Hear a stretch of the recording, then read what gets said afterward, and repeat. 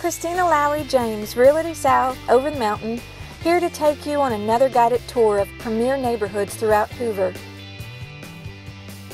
The Preserve is a true traditional southern neighborhood with parks, town hall, junior size Olympic community pool, pavilion, and yes, even a fishing pond. Located near the beautiful 250 acre Moss Rock Preserve.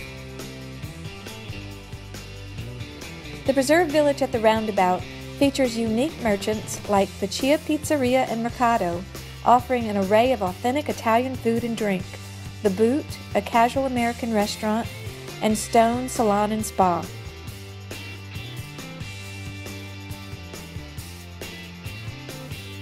The Town Hall in Village Green, an eight acre park at the preserve, is the site for neighborhood events like Movies in the Park, the Moss Rock Festival in November, and the Preserve Jazz Festival in June.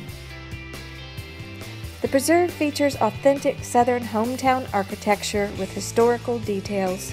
It is a unique, fun community with oversized sidewalks and lots of porches to enjoy neighborly views. The preserve is zoned for Gwin Elementary, Simmons Middle, and Hoover High School.